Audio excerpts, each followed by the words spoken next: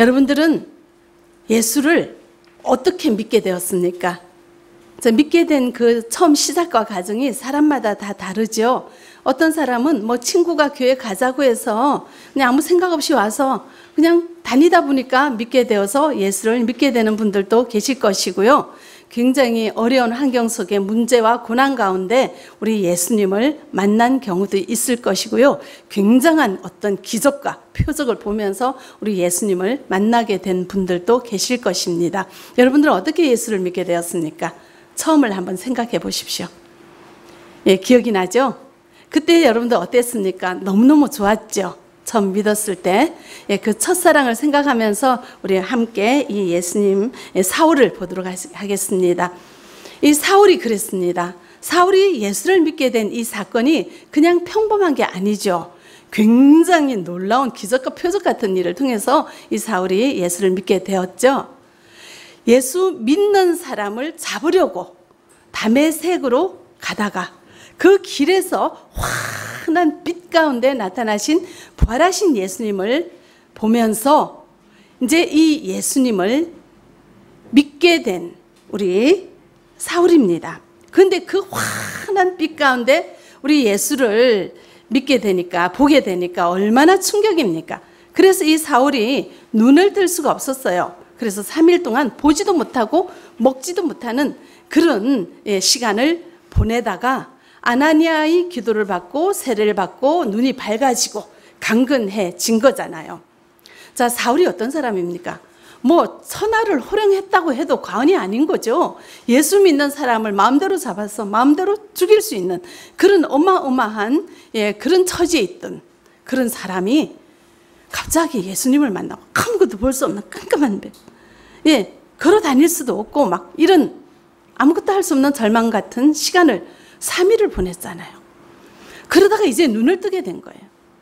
그 깜깜한 시간을 3일이나 지냈는데요. 그때 언제 이 눈이 뜰 수 있다는 희망이 없잖아요.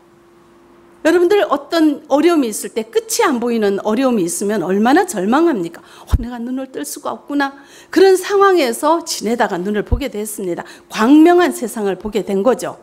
근데 또 예수님을 체험했어요. 그래서 이 사울이 완전히 바뀌게 된 거죠. 이전엔 뭐라고 했습니까?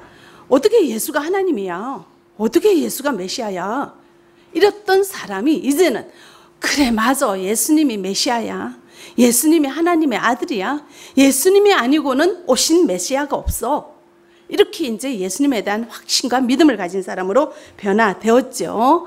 자, 그, 그렇게 해서 예수님, 어, 사울이 어떻게 하는지 19절부터 22절까지 성경 말씀 보겠습니다. 음식을 먹음에 강건하여 지니라. 사울이 담에색에 있는 제자들과 함께 며칠 있을새 즉시로 각 해당에서 예수가 하나님의 아들이심을 전파하니 듣는 사람이 다 놀라 말라되 이 사람이 예루살렘에서 이 이름을 부르는 사람을 멸하려던 자가 아니냐. 여기 온 것도 그들을 결박하여 대제사장들에게 끌어가고자 함이 아니냐 하더라. 사울은 힘을 더 얻어 예수를 그리스도라 증언하여 담에색에 사는 유대인들을 당혹하게 하니라. 이 사울이 이 예수님을 전하지 않고는 견딜 수가 없어요. 이제 새롭게 알게 된 진리고 광명한 세상에서 깨닫게 된 이 복음의 진리를 예, 그냥 전하지 않고는 견딜 수가 없어서 회당에 나가서 예수는 메시아라고 이렇게 전하게 되었습니다. 그러니까 사람들이 어때요? 놀라죠. 너무나 너무나 당황스럽죠. 아니 저 사람이 어떤 사람인데 예수 믿는 사람 죽이려 하던 사람이 어떻게 저렇게 예수님을 전하게 되었을까? 너무너무 당황스럽죠. 여러분들 같으면 그런 사람 옆에 있다면 당장 그 사람 말이 믿어질까요? 좀 의심이 되기도 하죠. 예, 거기에서 이렇게 담의색에서 예수를 전하던 이 사울이 잠깐 예, 오른쪽에 남동쪽에 있는 아라비아로 약간 가게 되었고 거기서 한 3년을 지나고 다시 이제 담의색으로 오게 되었습니다. 23절로 25절까지 우리 같이 읽어보겠습니다. 여러 날이 지남에 유대인들이 사울 죽이기를 공모하더니 그 계교가 사울에게 알려지니라 그들이 그를 죽이려고 밤낮으로 성문까지 지키거늘 그의 제자들이 밤에 사울을 광주리에 담아 성벽에서 달아 내리니라. 예. 여기서 23절에 보시면은 여러 날이 지났다고 합니다. 이 여러 날이 그냥 하루 이틀이 아니라 3년이 지난 것입니다. 그것이 갈라디아에서 그렇게 소개가 되고 있고요. 그래서 약간 다메섹 근처에 가서 한 3년 있다가 다시 이제 다메섹으로 왔어요. 근데 어떤 일이 있습니까? 23절에 보시면은 유대인들이 사울에게 어떻게 하죠? 죽이려고 하는 겁니다. 사울을 죽이려고 공모한다는 것은요, 법적으로 완벽하게 사울을 완전히 잡아서 완전히 처형하는 것을 얘기합니다. 그러니까는 24절에 보시면요, 이를 이제 이 정보를 입수한 예, 제자들이 예, 알게 되었고요. 25절에 그렇게 나와 있죠. 25절에 보시면은 제사들이 이 사실을 알게 되었고요. 그래서 성문을 그 사람들이 지키고 있으니까 성문으로 갔다가 잡힐 거예요. 그래서 어떤 일을 했습니까? 밤에 사울을 어디에 담아? 광주리에 담아서 어떻게 벽을 타고 성벽을 넘어서 광주리에 달아서 내려져서 드디어 그 성을 탈출할 수 있는 다메섹을 예, 나올 수 있게 된 그런 사건이 있습니다. 여러분들 이런 일들 들어보신 적 있죠? 라합이 정탐꾼을 이렇게 예, 벽을 타서 보낸 이런 일이 있죠. 예. 이렇게 이제 도망을 하게 됩니다. 음. 자, 우리가 다, 사울이 다메섹에서 3년 동안, 아니, 그 다메섹 근처에서 3년 동안 있으면서 준비를 했습니다. 우리도 그렇죠. 처음에 이제 예수를 처음 믿게 되었을 때는 막 뭐든지 할 수 있는데요. 사실은 누가 조금만 말해도 금방 시험 들고 막 이렇게 힘이 없어요. 그래서 우리도 보면은 이런 처음 믿는 열정은 좋지만 우리가 뭔가 예수님을 적극적으로 섬기기 위해서는 준비되고 훈련되는 시간이 좀 필요한 거는 사실이에요. 그래서 교회에서는 보면은 하루하루 주님하고 더불어 기도하고 말씀 붙들고 묵상하면서 성경 공부하면서 이런 준비하고 훈련하는 시간을 갖잖아요. 그죠? 그래서 이런 과정을 거치는 것은 예, 좀 필요한 시간인 것 같습니다. 그래서 하나님께서는 이 바나바 아, 사울을 다메섹 근처 아라비아 사막에서 한 3년 동안 그렇게 준비시키고 훈련시켰습니다. 예. 그리고 이제 다시 다메섹으로 왔는데 이 사울을 죽이려고 하니까 제자들이 사울을 이제 피신을 했죠. 예. 그래서 도망가게 되었습니다. 예. 이렇게 예수님을 전하는 데는 위험이 따르고 어려움이 따릅니다. 사실 사울도 죽이려고 했잖아요. 이 당시에 예수를 믿고 예수를 전하는 사람들은 이런 어려움과 고통과 고난을 겪고 이 생명의 위협까지도 예, 겪게 되는 이런 것을 우리는 볼 수가 있습니다.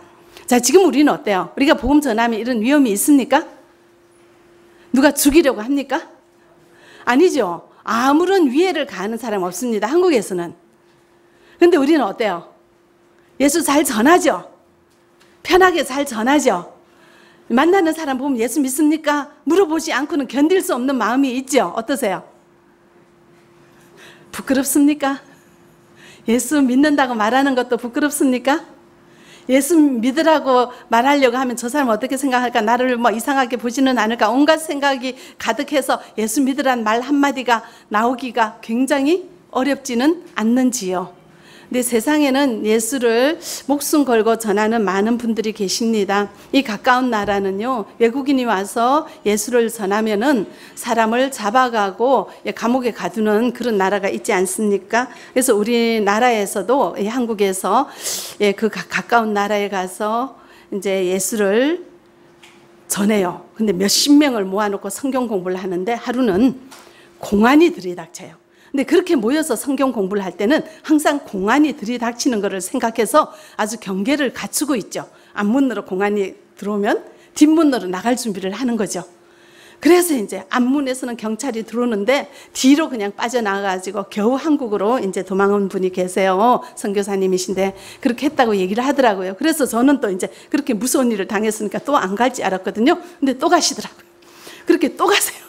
이렇게 여러 번 잡고 다니니까 정말 꼬리가 밟혀가지고 공안에 잡혀가지고 감옥살이를 하는 것을 보았습니다. 감옥에 가도 또 가시는 거예요. 복음 전하러. 또 이제 여성 독신 선교사가 있습니다. 독신 여성교사들이 계십니다. 혼자 몸으로 결혼하지 않고 평생 이제 복음을 전하기 위해서 사시는 분이신데요. 독신이죠. 자, 그래서 이제 또한 그곳에 가서 이 복음을 전하는데요. 공안이 다 아주 그냥 보면서 잘 찾아내죠. 그래서 이분, 이분은요, 혼자 이제 밤이 돼서 집에서 문을 딱 잠그고 있으면은 막 가슴이 그냥 불안하대요. 그런데 어디선가 계단에서 저벅, 저벅, 저벅 걸어오는 소리가 들리면은요, 심장이 완전히 굳어버린대요. 너무 무서워가지고 견딜 수가 없대. 왜냐하면 며칠 전에 같이 사역하던 그 여선교사가 누가 신고해서 그 공간이 한밤에, 한밤중에 갑자기 와서는 똑똑 하면서 들이닥쳐서 와보라고 해서 가서 감옥에 그냥 갇혀버리는. 우리는 감옥에 한번 가면 어떻게 되는지 모르잖아요. 이제 그런 일들을 주위에서 너무나 수없이 당하니까 이제 밤만 되면은요, 저벅저벅 들리는 소리만 되면 이 가슴이 완전히 굳어버려서 이 분들이 공황 장애, 정신, 분열증, 이런 신경의 질병이 생기는 경우가 참 많다고 하더라고요. 그런 위험을 무릅쓰고 우리는 이 복음을 전하러 타지에 가서 선교사로 지내시는 너무나 많은 분들도 계십니다. 자, 그런 거 생각하면 우리는 어때요? 우리는 이 편한 데서 누가 예수 전한다고 잡아가는 이게 환경이 없는 나라에서 너무나 편하게 예수를 잘 전할 수가 있죠. 여러분 어떻게 전하고 계십니까? 예, 저도 이제 이것을 생각해 보니까 너무 편하게 한국에서 이렇게 사역을 하고 있더라고요. 그래서 좀 더 열심히 해야 되겠다 생각을 했는데 이전처럼 열심히 할 수 있는 육체가 안 따라져요. 여러분들 젊을 때, 한 나이라도 젊을 때 좀 열심히 주님을 위해서 예, 전도하시고 선교하시기 바랍니다. 자, 이제 사울이 밤에 그 담에색에서 도망을 나왔습니다. 성벽을 타고 광주리에 당겨서. 그래서 어디를 갔는가 하면은 예루살렘으로 갔어요. 자, 예루살렘은 초대교회가 있는 곳이죠. 예루살렘은 사도들이 있는 곳입니다. 그래서 사울이 이 예루살렘에 가서 그 사도들과 교제를 하고 이 사도들하고 같이 사역을 하고 싶었어요. 그래서 예루살렘에 가서 이 제자들을 찾아갔는데 이 제자들이 사울을 어떻게 대우했습니까? 반겼어요? 어떻게 했을까요? 우리 자 26절로 28절까지 우리 같이 읽어보겠습니다. 사울이 예루살렘에 가서 제자들을 사귀고자 하나 다 두려워하여 그가 제자됨을 믿지 아니하니 바나바가 데리고 사도들에게 가서 그가 길에서 어떻게 주를 보았는지와 주께서 그에게 말씀하신 일과 담에색에서 그가 어떻게 예수의 이름으로 담대히 말하였는지를 전하니라. 사울이 제자들과 함께 있어 예루살렘에 출입하며 이제 출입하게 된 거죠. 그러니까 사명을 감당할 수 있는 길이 열렸다는 거예요. 자, 누구 때문에? 바나바 때문에요. 아무도 이 사울을 알아주지도 않는데요. 바나바가 가서 이 사울을 소개해요. 정말 이 사울이 정말로 주님을 만났고 예수님이 어떻게 사울에게 나타났으며 어떤 말씀을 하셨는가에 대해서 자세하게 설명을 해주면서 이 사울은 바나바는 얘기합니다. 이 사울이 얼마나 위험을 무릅쓰고 예수를 전했는가. 주 예수의 이름으로 전했다고 하죠. 자, 이 당시에는 주 예수의 이름으로 복음을 전한다는 건 생명의 위협을 당할 수 있다는 거예요. 그러니까 사울이 옛날엔 자기가 이렇게 그렇게 했지만 이제는 반대로 이제 자기 목숨을 내어놓고 얼마나 열심히 전도를 했는가를 바나바가 증명을 해줘요. 그 사도들에게 얘기를 해줍니다. 그런데 이 바나바가 하는 말을 이 사도들이 믿어주는 거예요. 이 사람들은 사울이 어떻게 했는지를 못 봤어요. 보지를 못했습니다. 그러니까 사울이 긴가민가? 어우, 무섭다? 경계를 하고 있는데, 바나바가 이 사람 정말로 믿었어. 정말 목숨 걸고 이 예수는 메시아라고 증거했어. 라고 바나바가 말을 하니까 그 사도들이 그 바나바 말을 온전히 믿어준 거예요. 자, 우리는 어떻습니까? 내가 어디 가서 기는 기다. 이거는 저거다. 한마디 하면은 나의 배우자가, 나의 자녀가, 나의 부모가, 나를 알고 있는 사람이 내 말 한마디를 100% 믿어줍니까? 그래. 네가 하는 말은 다 맞아. 내가 완전 신뢰, 완전 인정. 당신 말이 진실이야. 믿어줍니까? 어떻습니까? 그래서 저는 이 바나바가 어떤 사람입니까? 자기 전 재산을 교회에다 헌납하고요. 그 사람들 앞에 하나님 앞에 성령이 충만하고 믿음이 충만하고 착한 사람으로 인정받았어요. 바나바가. 그러니까 그 증거가 나타나죠. 사람들이 바나바를 인정하는 거예요. 착하다고 인정하고 믿음이 좋다고 인정하고 성령이 충만하다고 인정. 저 사람 말은 하나도 버릴 게 없어. 저 사람이 하는 말은 다 믿어도 돼. 이렇게 해서 믿어주고 사울을 받아주잖아요. 자, 여러분들은 어떻습니까? 내가 하는 말 맞아. 당신 말은 맞아. 믿을만 해. 이렇게 믿어주는지요. 만약에 내가 하는 말을 상대방이 100% 믿어준다면 그 사람 잘 사는 거예요. 그것이 잘 사는 인생이죠. 우리는 이 세상에서 돈 많이 벌고 자식한테 돈 많이 물려주면 그것이 성공한 인생이라고 생각할 수도 있습니다. 그래서 공부 많이 시키고 중요하죠. 더 중요하죠. 그러나 그것보다도 더 중요한 가치는 이렇게 내가 나의 존재가 사람들에게 신뢰를 줄 때 더 가치 있는 인생을 살아왔다는 것입니다. 우리 인생은 어떠했는지 돌아볼 수 있기를 바랍니다. 제가 개척할 때 1호 신자가 교장 선생님이었잖아요.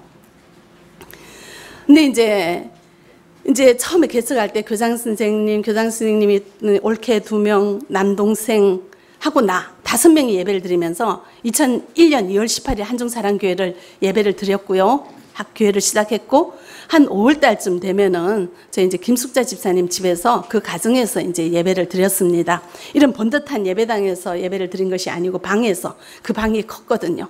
근데 사실 사람 사는 방이니까 어떻겠습니까? 벽에는 못을 다 박아놓고 자 누구 잠바, 누구 바지, 누구 티 줄줄이 다 옷이 걸려 있고요.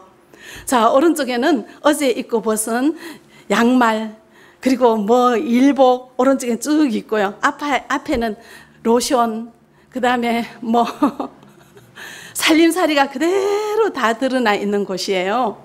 이곳에서 우리가 예배를 드리면서 교회라고 했습니다. 한중 사랑 교회라고 했습니다. 근데 전도를 해야 될 거 아닙니까? 근데 나는 아는 사람이 한 사람도 없어요. 그런데 그 교장 선생님이 그때 하나님 앞에 성령에 취했는지 와, 전도해야 된다고. 우리 한국에 나온 우리 동포들이 예수를 믿어야지 된다고 그런 열정이 생겼어요. 왜냐면은 아빠 엄마 떨어져 가지고 자식 중국에 혼자 놔두고 애는 애대로 고생하고 부부간에 헤어져서 여기에서 새로 애인하고 그 돈 번 돈 못 받고 막 이렇게 고생하는 걸 보니까 예수를 믿어야 된다는 이 막 간절한 열망이 있어 가지고 그분이 자기 제자들한테 다 전화해요. 전화를 하면은 그 전화를 받는 제자들은요, 너 오늘 많이 올 수 있어? 당장 와요. 근데 그 사람은 자 여기가 교회야 하는데 방이잖아요. 그 교장 선생님 교회야. 어, 나는 전도사야.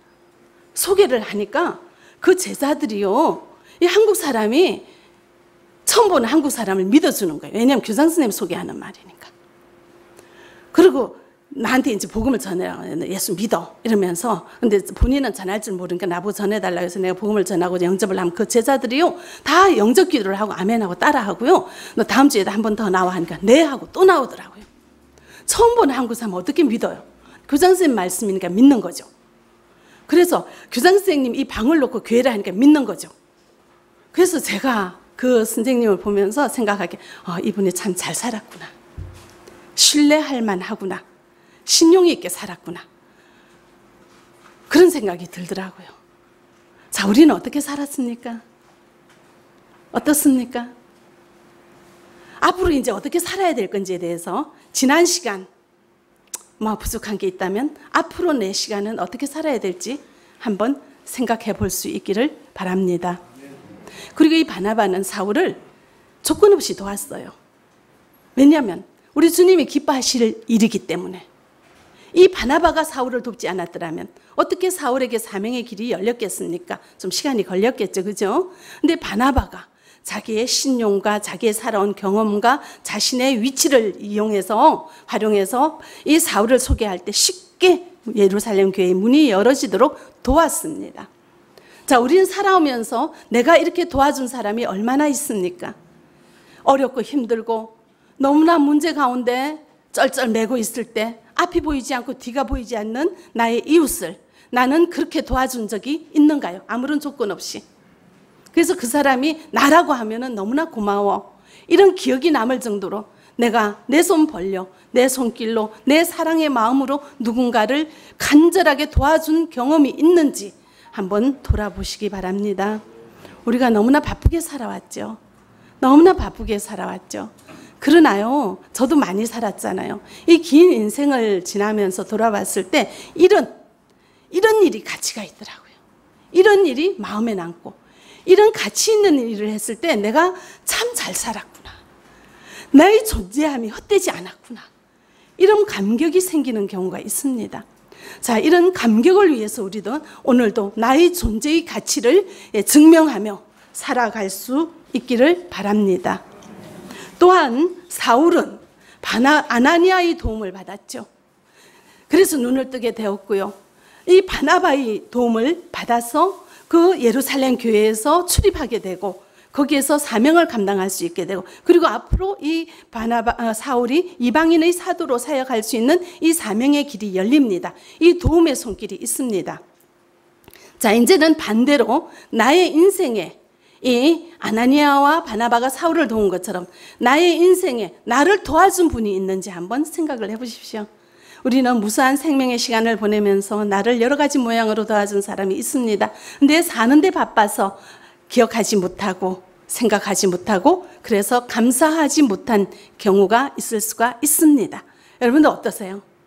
나의 인생에 도움이 도움이 된 지인이 있는지 도와준 지인이 있는지 또 나의 인생을 이렇게 성장시켜 주신 스승이 있는지 미처 감사하지 못했고 오늘도 내 사는데 바빠서 미처 말씀드리지 못하고 감사의 표현을 하지 못하고 하루하루 바쁘게만 살아온 우리의 인생은 아닌지 생각해 볼 수 있기를 바랍니다. 저도 이제 이 말씀을 생각하면서 나의 스승은 누군가, 내가 기억에 남는 스승은 누군가 생각했더니 초등학교 선생님, 제가 울산에서 초등학교를 나왔는데요. 우리 김두현 선생님이 생각이 나더라고요. 이제 그분께서 나를 특별히 되게 이제 많이 지도해 주시고 잘 지도해 주시고 지금 90이신데 말씀하시면 지금까지 이제 교사하면서 가장 기억에 남는 제자가 나라고 얘기를 예, 아주 오래전에 하시더라고요. 그렇게 특별히 챙겨 주신 그 사랑이 제가 생각이 났는데 평소에 제가 참 이 사역한다고 예, 인간된 도리를 못하고 항상 마음으로만 감사한 마음이 있었어요. 그런데 그 선생님 친, 아, 딸이 저하고 친구예요. 이제 같이 중학교를 나왔는데 아 어, 초등학교 중학교를 같이 나왔는데 그 친구가 우리 한중사랑교회가 설립되고 난 다음에 몇 달 전까지 15년 가까이 한 달도 빠지지 않고 후원을 해줬어요. 그렇게 이제 같은 믿음의 동지인데 예, 그런 인연이 있는 그 친구가 나한테 전화가 왔어요 하루는 소목사 왜 했더니 우리 아버지가 울산에 계시는데 그 선생님 예수 안 믿거든요. 근데 우리 아버지한테 가서 나보고 세례를 줄 수 있네요. 울산까지 가서. 왜냐하면 뇌경색이 걸려가지고 출입을 못 하신대요. 그래서 누군가 가서 세례를 드려야 되는데 나보고 와서 세례를 줄 수 있냐고. 그래서 울산까지 올 수 있냐고. 그래서 내가 그랬죠. 뭐 중국까지도 갔는데 울산이 뭐가 뭐냐고. 그렇게 해서 이제 제가 울산으로 갔습니다. 그런데 이제 제가 어떻게 예수를 진짜로 믿는지를 봐야 되잖아요. 근데 이분이 아, 못 나가니까 테레비를 보면서 이렇게 저렇게 저렇게 저렇게 주어 들어서 신앙을 하는데 바르게 하시는 거예요. 그런데도 또 더 확실하게 하기 위해서 복음과 나라는 그 교재의 전신 교재를 가지고 제가 이제 우리 선생님을 앞에 앉혀놓고 자 1과 2과 3과 해가지고 다 그대로 공부를 가르쳤어요. 거꾸로 제자가 선생님한테 근데 이 선생님 영리하시니까 잘 알아들으시더라고요. 그 정리를 쫙 한번 얘기해보라 했더니 정리를 쫙 하시더라고요. 그래서 이제 제가 세례를 드리고 가까운 교회를 소개해드리고 그랬더니 가까운 교회에서 못 움직이는데 맨날 모시러 와서 교회 가서 지금도 매 한 주도 안 빠지고 예배를 드리시면서 이분께서는 11조까지 하신다고 예, 아주 대단히 열심히 그렇게 믿게 되었습니다.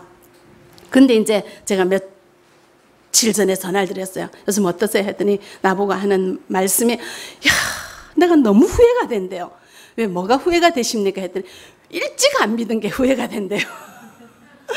이 좋은 예수를 왜 일찍 안 믿었을까? 너무 좋대요. 너무 좋고 마음이 평안하고 기쁘고 늘 예수님 생각하면 그렇게 좋다고 말씀을 하시더라고요. 그리고 하시는 말씀이 천국이 있다는 게 그렇게 좋대요. 내가 천국 간다는 게 그렇게 좋대요. 그렇게 이제 좋아하시더라고요. 제가 이제 우리 선생님을 보면서 내가 참 가치 있는 일을 했구나. 예, 그리고 사실 우리 경상도 분이에요. 남자분은 되게 보수적이거든요. 근데 제자한테 딸 같은 제자한테 안수를 받고 세례를 받는 거는 좀 상상하기가 어려운데 또 세례를 믿어주시고 받아주시고 또 나로 인해서 신앙생활 제대로 하게 되시고 이러니까 얼마나 제가 감사한지요. 또한 감사한 분 생각했더니 우리 대강교 김명수 목사님, 저와 장로님 낳아주시고 키워주시고 이렇게 사역의 기반을 만들어주신 우리 목사님께 또한 감사를 드립니다. 우리 인생 오늘에 나가 있기까지 많은 도움을 주신 분이 계십니다. 생각해 보시면서 감사의 마음을 예, 표하실 수 있기를 바랍니다. 이 사울은 이 바울 서신에 그의 감사하는 마음이 다 기록이 되어 있죠. 물론 자신을 도와준 그 사람도 참 감사하지만 사울의 인생을 계획하시고 사명자로 불러주시고 사명할 수 있는 힘을 주신 예, 예수님이 가장 큰 스승이잖아요. 그래서 이 사울은 곳곳에 예수님에 대한 감사와 그리고 우리에게도 범사에 감사하라. 신앙의 기본이 감사라고 우리에게 가르쳐 주고 있습니다. 그래서 오늘 이 스승의 주일을 맞이해서 내가 얼마나 누군가를 도왔는가 도와, 돌아보시고 또한 나를 도와준 분이 누구신가 한번 돌아보면서 이 인생의 관계 속에서 얻어지는 이 신뢰와 믿음과 이것이 우리가 진정 가치 있는 삶이 아닌가 생각해 볼 수 있기를 바랍니다. 자, 이제 사울의 행적을 다시 한번 돌아보겠습니다. 자, 우리가 사울이 지금 어떻게 됐죠? 정리하면 이 사울의 행, 선지는 우리가 모든 바울 서신의 근간이 되기 때문에 성경을 자세히 알고자 하시는 분들은 기억하시면 좋죠. 자, 예루살렘에서 다메섹으로 예수 믿는 사람을 잡으러 갔습니다. 그래서 다메섹 길에서 도상에서 완전히 환한 빛 가운데 부활하신 예수님을 만나서 변화가 되었죠.